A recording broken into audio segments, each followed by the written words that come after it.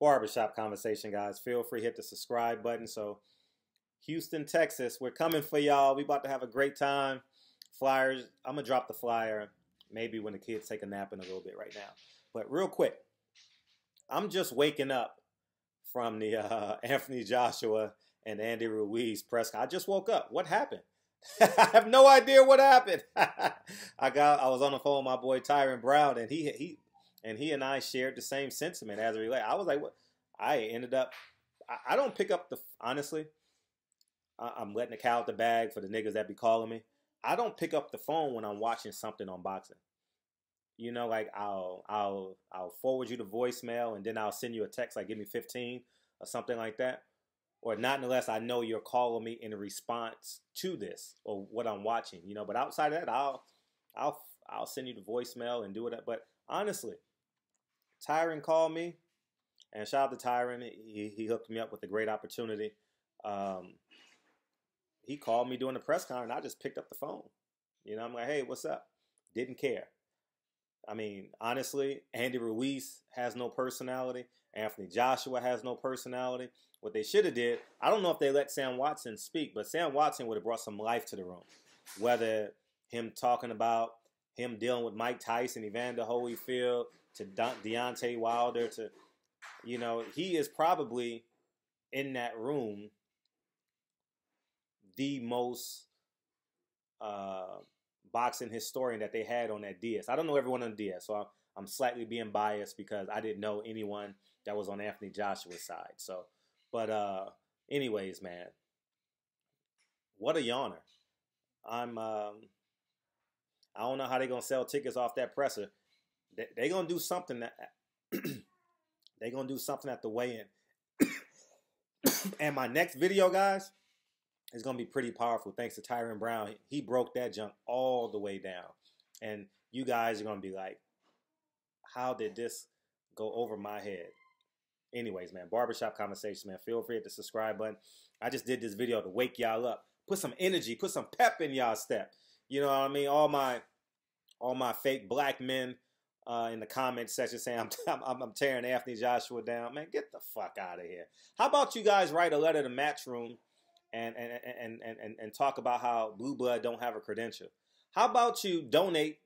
How about you donate to what I'm doing in the city of Houston? How about you do that? Stop stop being a keyboard black man. How about you uh how about you tell your son or daughter about Malcolm X, Marcus Garvey, uh uh Angela Davis, uh Huey P. Newton. They they shouldn't just know who Nipsey Hussle is, Jay-Z, Oprah Winfrey, Barack Obama. You understand? I, I don't y'all y'all niggas are, are, are, just full of it. You know what I mean? And, and, let me tell you something. If it walks like a duck, talks like a duck, it is a duck. And quacks like a duck, it is a duck. All right? Anthony Joshua is suspect, and you guys can live and die with it if you want to. Who gives it? It is what it is. I call a spade a spade until proven otherwise. You know, you know what I'm saying? So, and um, it's just what I inherently believe. You know, and I am entitled since I own this content on Eh, since I own this space on YouTube, I can say what I want and thank and thankful to me, I'm I I say what I feel on most times. So until proven otherwise, he is what he is. These these guys wasn't these guys were the same guys that was laughing at Floyd Mayweather, Ford Gay Runner. Um, what else were they saying about Floyd Mayweather's boots? Who I don't approve. I didn't approve of those boots either. But I'm saying you guys were laughing at that. But because you're a fan of Anthony Josh, oh, don't, man, get the fuck out of here, man. How about you spend your time um, uh, protecting Megan's Law in your community? Do something else. Stop being a keyboard black man. Be a black man in real life. All y'all are fake, not all y'all. Meaning some of y'all are fake black men. You know, I mean, I already know what you guys say. Oh, you, oh, you had a baby with an Asian woman. I get it. I know been my best friend for 23 years. Deal with it. It ain't changing. So, anyways, as I digress, but but I will say this. You have a right to your opinion on that, and, and whatever you feel about that is okay. But I will say this too. You better raise your you better raise your kids with the truth. Like it, love it, or hate it. Raise your kids with and the only way you can raise your kids with the truth is if you lived your truth. Period.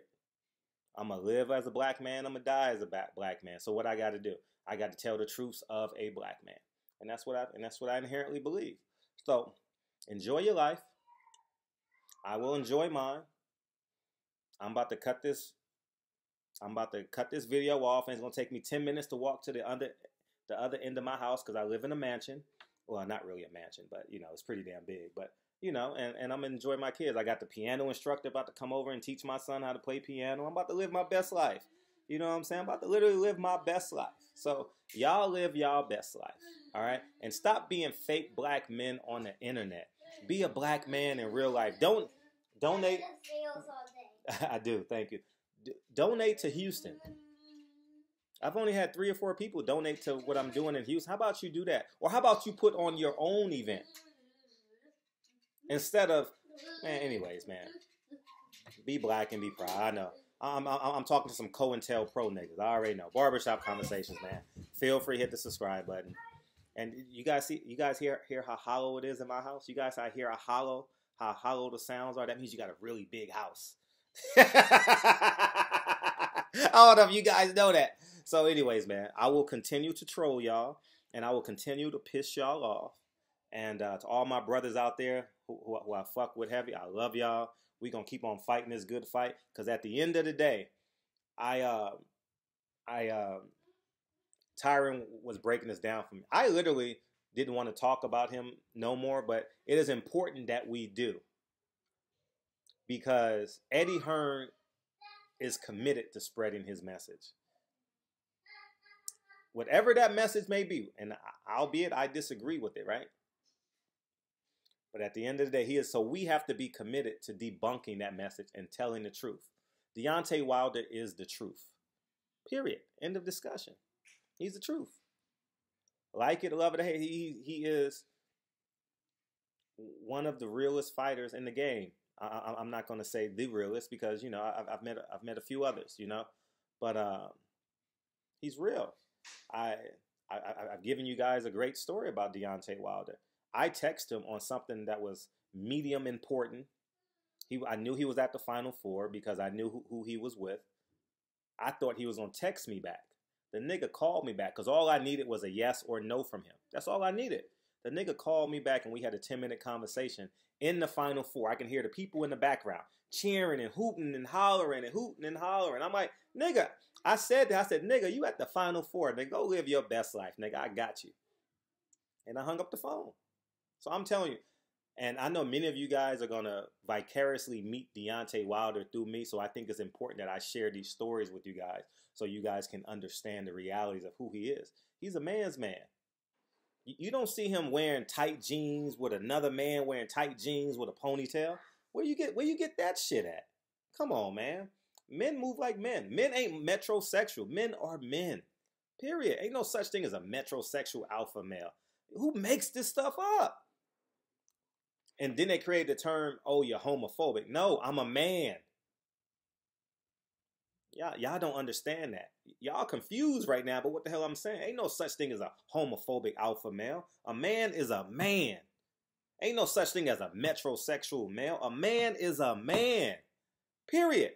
End of discussion. Barbershop conversations, man. Wake y'all asses up. I know y'all just fell asleep during that press conference. I'll holla. Peace.